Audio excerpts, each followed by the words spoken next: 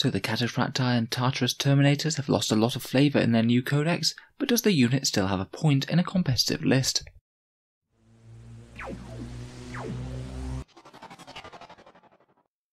Hello and welcome back to Auspex Tactics, the strategy focused 40k channel, where today we're putting our Heresy era Terminator armour under the microscope and seeing if it's not past its sell by date for deploying in the 41st millennium.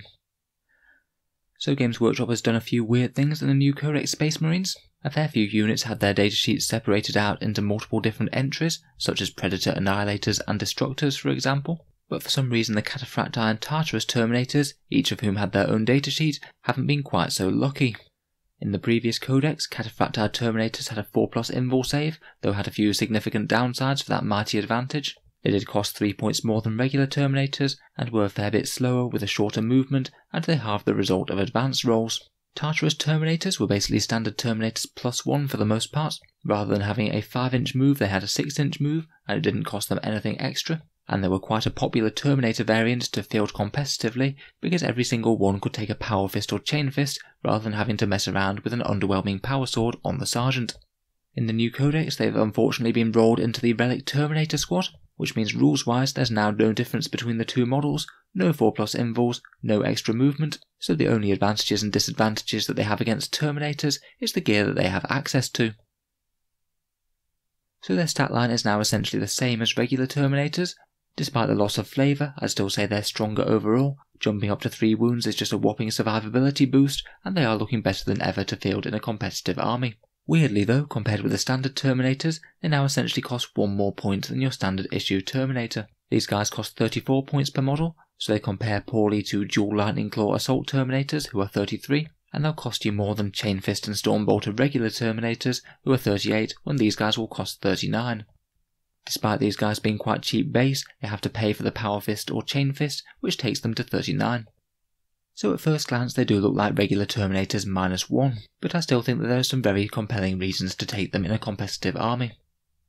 Most obviously, though perhaps not the main reason, is their special war gear that they can take. They have access to a lot of toys that regular Terminators don't, including the Reaper Autocannon, Grenade Harness, Plasma Blaster, and Volkite Charger.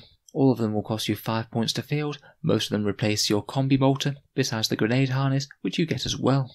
The Reaper Autocannon is heavy 4 36 inches, strength 7, AP minus 2, and damage 1. It is a good general all-round weapon, it'll put some damage on basically anything, but honestly not all that much.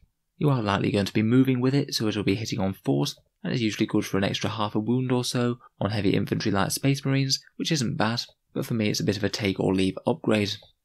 The grenade harness though I do find quite interesting. It's a 12 inch assault d6 weapon with strength 4, AP minus 1, damage 1 and blast.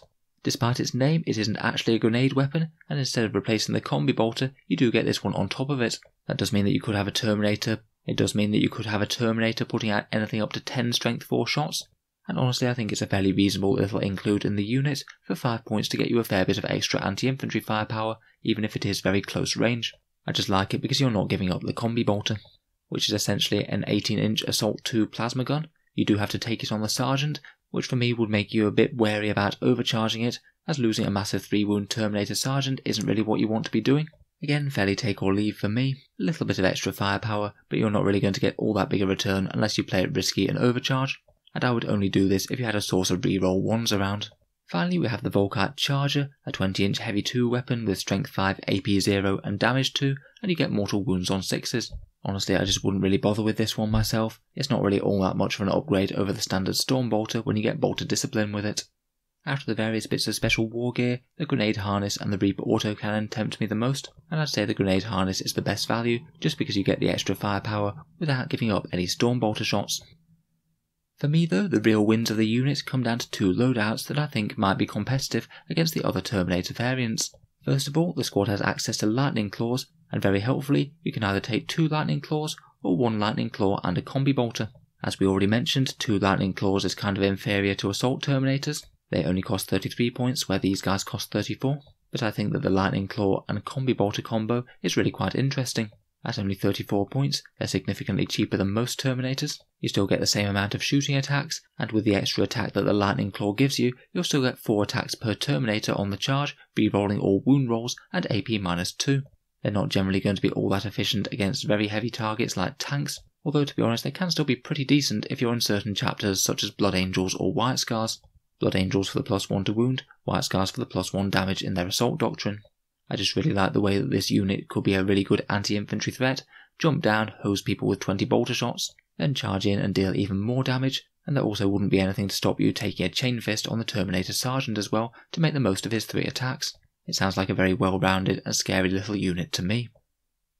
The other decently competitive loadout that has me interested are taking a full squad with combi bolters and chain fists.